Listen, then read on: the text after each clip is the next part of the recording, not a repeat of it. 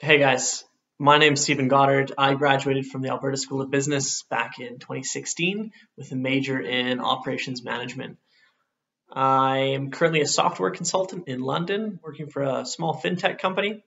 And Professor Fields asked me to give you some advice and tips on what to expect during a case competition.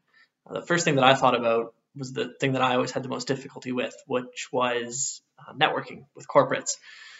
It's often the most daunting task, but really quite easy to prepare for, actually. Uh, every case competition has a sponsorship, uh, multiple sponsors. Best to just give them a Google. Uh, some case competitions are good enough to list who's going to be attending and speaking. Great to come up with a preloaded question or two, something along the lines of, um, "Hey, I see you launched a new product recently. Were you involved in the marketing for that?" That kind of question shows that you've done a little bit of research and have a genuine interest in the company. Uh, as far as specific networking tips go, I won't give you any. I'm crap at it. Um, really best to ask your parents, parents' friends, professors. Uh, everybody has a tr- trick or two that's been in the industry a long time that they they use these networking events. So get their tips, test out what works for you, and go from there. Uh, arguably more important than networking or meeting these uh, corporates is is meeting your peers at these things these comp- case competitions attract a lot of really cool, interesting people, um, both nationally and internationally. If you're lucky enough to go to an international one, I absolutely recommend meeting uh, these international students and, and making friends.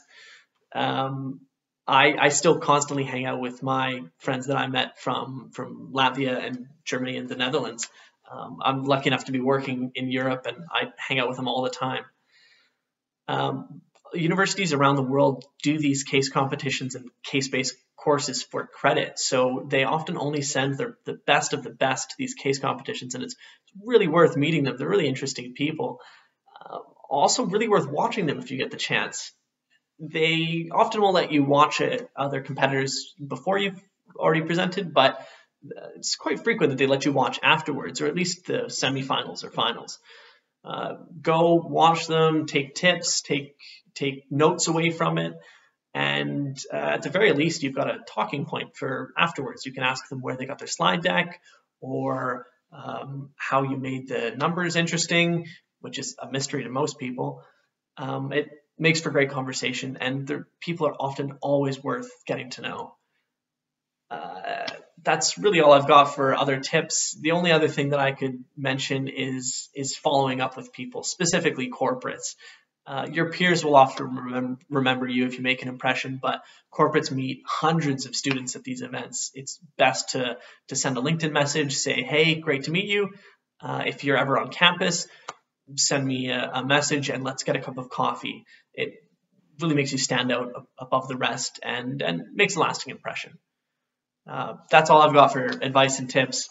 Uh, best of luck with any case competitions you guys compete in, and best of luck with Biz 101.